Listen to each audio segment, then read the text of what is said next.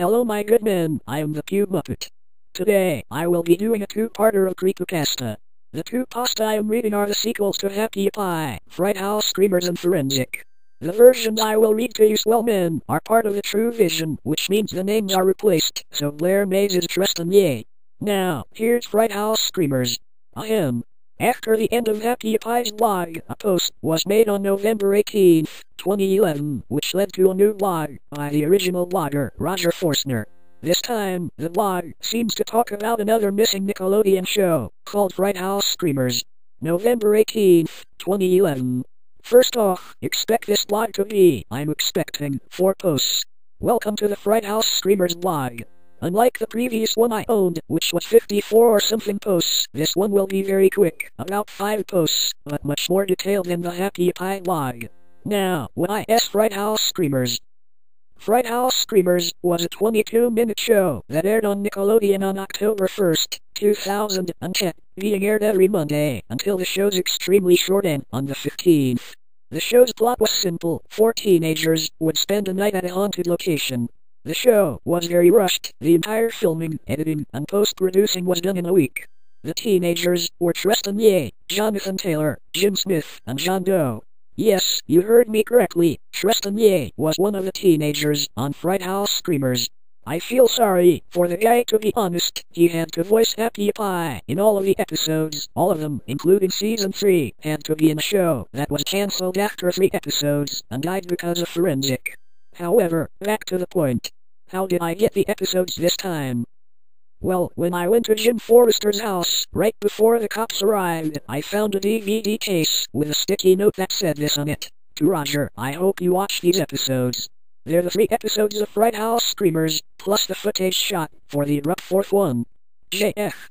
I took this home and put it in a spot to remember, so when Happy Appy was completed, I would bring out the DVD and play it. Well, since Happy Appy is done once and for all, I guess I'll give each episode a look. November 19, 2011. The first episode was called Winchester and was about the teenagers going into the Winchester Mystery House. The intro showed the four in the mystery house as paranormal things happened. Then it cut to the episode. It showed Tristan sitting on a chair saying, Today we are going to go to the Winchester Mystery House. I'm Tristan Yeh and the person holding the camera is Jonathan Taylor. Hello, Jonathan. And Jonathan said, Hello, Tristan. It then cut to a dashboard camera recording a man driving a van, a first generation Chevrolet Express, where the other teenagers were talking about the place they were going to. The man then said, Hello, I'm Jim Smith, and I'm the oldest man in the group. It then cut to the van parking in a parking zone near the mystery house. Then, a man holding a camera started to follow the teenagers as they entered the mystery house. Then, a man, most likely John, as he wasn't introduced, was talking to a woman about the house. She said, Are you sure you want to go into the house? And John said, Of course. Why would you want us to not go in? And she said, Well, the activity here is higher than usual. I see broken dishes on the ground, damaged doors, and whispers coming from the hallway, even though no one's here. And then John said, Thanks for those warnings. We'll record what we find. Then, it went to the commercial break, and then the woman locked the four in the house. It first cut to Tristan's camera. He was walking in a hallway with an infrared camera when he saw something move in one of the rooms. It was human-shaped and had a human's heat signature. Tristan then ran to the door and opened it. Nothing was there. It then cuts to Jonathan's camera. He was doing a EVP session in a room, the session part shown in the episode I will transcribe. Jonathan, this is Jonathan Taylor, and we are doing an EVP session at the Winchester Mystery House. Are there any spirits currently in this room? No response. Skips to 20 minutes in the session. Jonathan, we are about to leave the room right now. Is there anything you would like to say before we leave? Nearby door slam shut. Then a spirit whispers something. Spirit, don't, please. Jonathan, I am quite creeped out right now. It then goes to commercials, and then it shows Jim's camera. He brings out a Winchester rifle and says, Are there any spirits in here? If so, does this make you angry? And no response is heard. He then sets a camera near the Winchester rifle and leaves the room. Then, five hours later, he comes back in and notices that the Winchester rifle was violently thrown against a wall. He takes the Winchester and camera and leaves the room. You might be wondering, where was John the entire time? He was in the van, getting results from the other three. At the end of the episode, they looked at the footage of the camera near the Winchester. They saw the Winchester being levitated and it being thrown at a wall. Finally, the four thanked the woman and the credits roll. November 20th, 2011.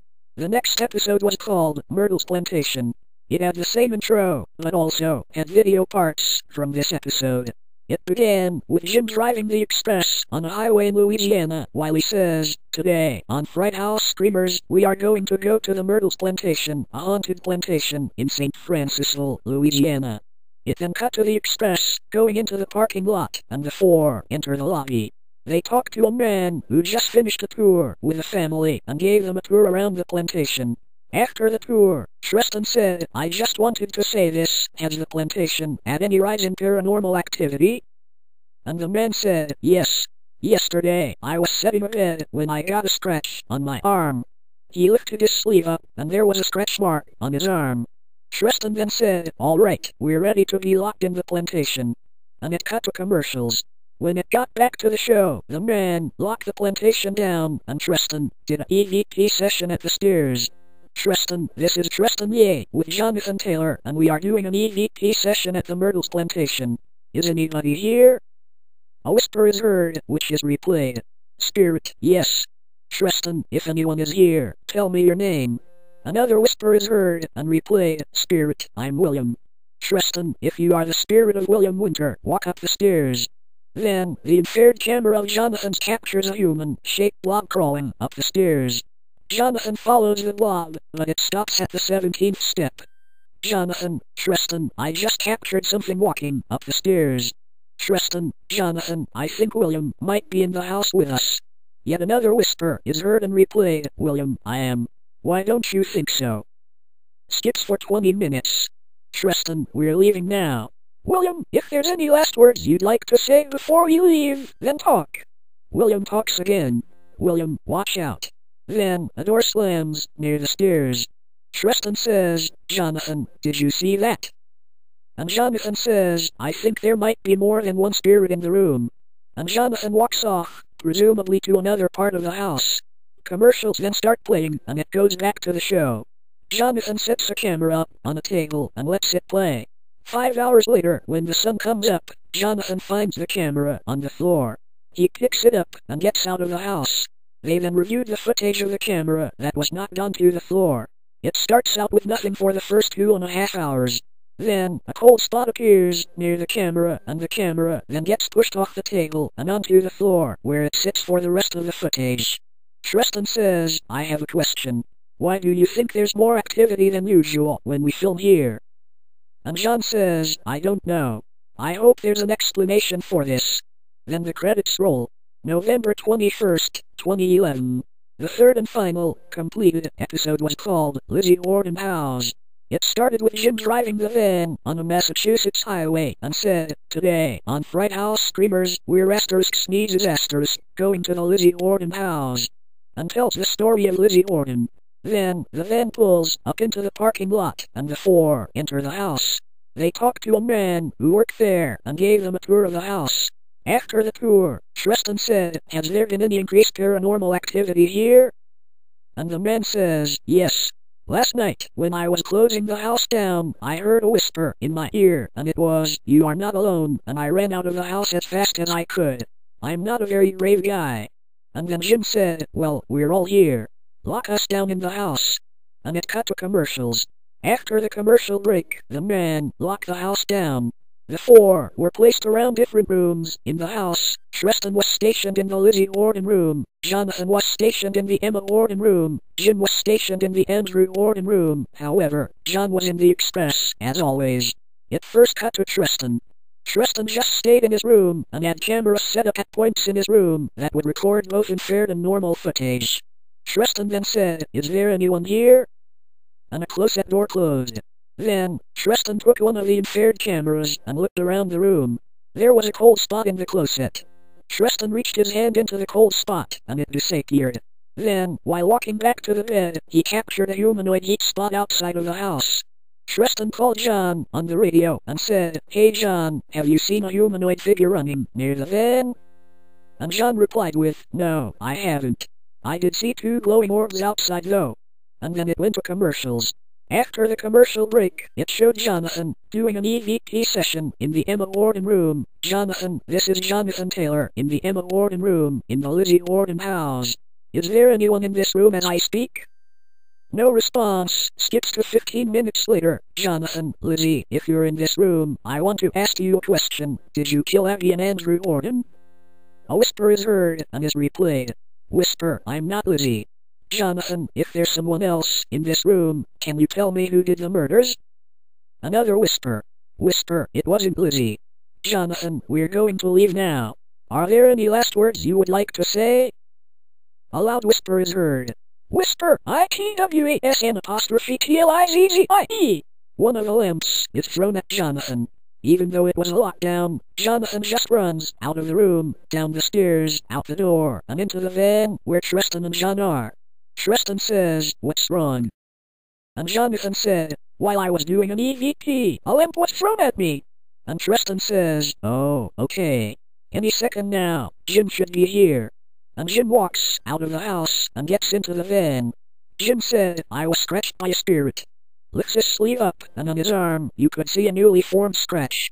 After that, it cuts to when the sun rises. Jonathan gets all the cameras and looks at the footage taken in the room Tristan was in. Nothing unusual happens until the second the camera was turned off. A warm, humanoid spot could be seen in the corner. Until the credits, the four discuss why the paranormal things are happening. November 22nd, 2011. The fourth, uncompleted episode would have been called The Asylum if it had been completed. It starts out like normal. The teens are going to an asylum. The man there tells them an experience he had recently, and they get locked in. However, what I'm going to tell you is what actually happened that day. Most of the footage is complete, except for a few missing minutes. Tristan Ye is walking along a balcony with an infrared camera when he spots the same humanoid figure climbing a tree.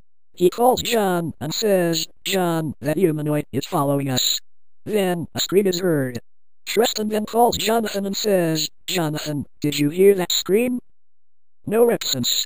Jonathan, J-O-N-A-T-H-A-N. Tristan then calls John. John, Jonathan is not responding on the radio. And John says, this isn't good. You should get Jim. N-O-W. Tristan then says, okay, I'll get him. Tristan then runs down a hallway, saying, Jim? Where are you? S-M-I-T-H. And Jim comes from another hallway and runs into Tristan. Jim then says, Tristan, I found Jonathan. He's dead. And Tristan says, What? And Jim says, I found him hanging from a hole on the fifth floor.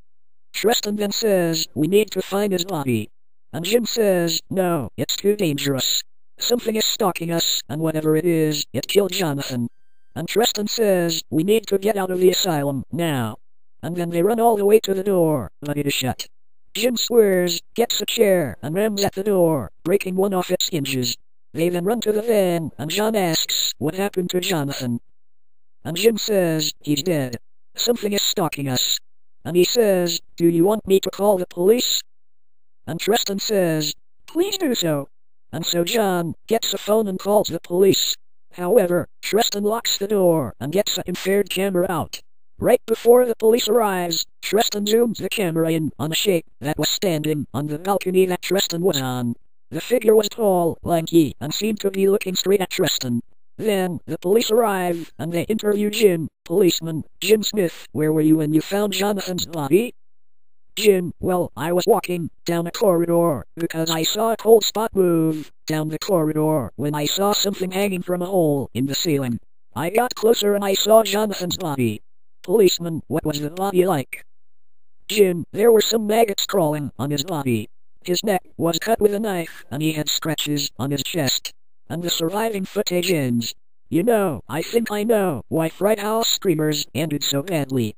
You see, Tristan left Happy Appy to work on FHS, but Frederick wanted him to keep working on Happy Appy, so he had to kill Jonathan to end the show and force Tristan back into Happy Appy. I'm honestly glad Fred's dead now.